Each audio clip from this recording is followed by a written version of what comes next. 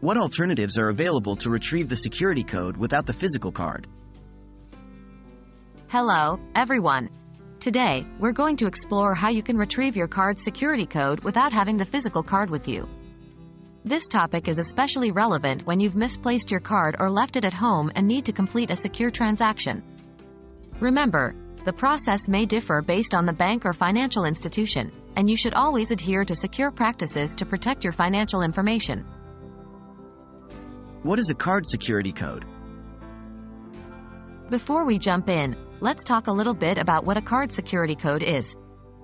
A card security code, often called CVV or CSC, is a three or four digit number typically found on the back of your credit or debit card. It's designed to add an extra level of security when you're making transactions, especially online, to verify that you're in physical possession of the card.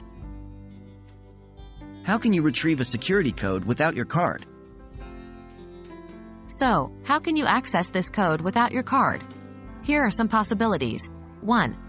Using a digital wallet or banking app. Some banks or financial institutions provide a digital version of your card on their mobile app, including the card's security code. Services like Apple Wallet, Google Pay, or Samsung Pay also digitally store your card's details securely. 2. Contacting your bank.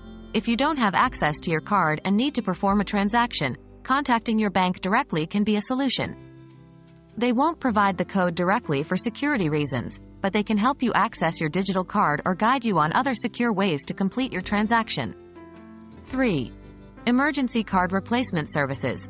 Some banks offer emergency card replacement services. In case you've lost your card or it's been stolen, they can provide you with a temporary virtual card, including a new security code. Remember, never write down or share your security code with anyone. It's a key piece of information to protect to avoid fraud or unauthorized use of your card. So that's it, folks. These are some of the ways to retrieve your card's security code without having the physical card at hand. Always keep in mind to follow the best security practices when dealing with your financial information and when in doubt, always contact your bank or financial institution directly. Stay safe and happy banking.